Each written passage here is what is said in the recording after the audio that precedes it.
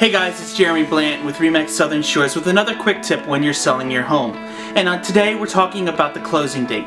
Unfortunately, those closing dates change from time to time. It could change because the lender can't get financing done in time, the attorney's not available to close that day, or there's some sort of repairs that can't be finished in the amount of time. If that were to happen to you, don't freak out. Most contracts here in South Carolina have an extension built in them to help make sure we can close within the specified period of time. So when you're selling your home, if something like that happens, it's part of the process and it will close, don't worry.